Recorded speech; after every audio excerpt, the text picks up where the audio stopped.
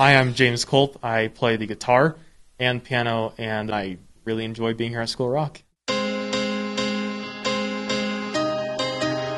Don't ask me to do math.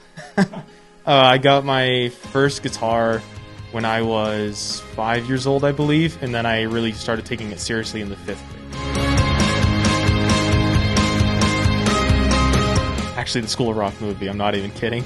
I saw Jack Black and I saw School of Rock, and I was like, those kids are awesome. I want to do that. And then I learned Led Zeppelin, Black Sabbath, and it just went from there.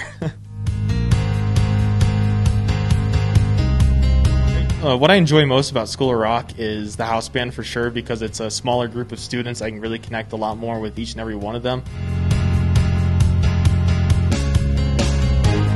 I like a lot of songs played here so far. The one that sticks in my head is the most is the Utopia song we just did, which was Love in Action. Yes, that's definitely one of my favorites that we've gotten to. James Hetfield because he's playing all this insanely fast rhythm but he's singing syncopated. Like that's an incredible skill to know. Once I started getting into metal, saw Metallica, and I just wanted to become a better guitarist. And then they were my first show I got to go see live, so I was definitely big influence in my music career.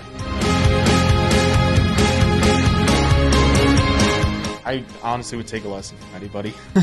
like everyone's got a different level of knowledge, and I would love to sit down with any guitarist, honestly, just to get a different perspective or experience because everybody's experience is different. when I work with my guitar teacher Shamrock, we talk a lot about theory in our writing and our playing, and it's helped me write my own music and apply all that theory in a different sense that I didn't know before.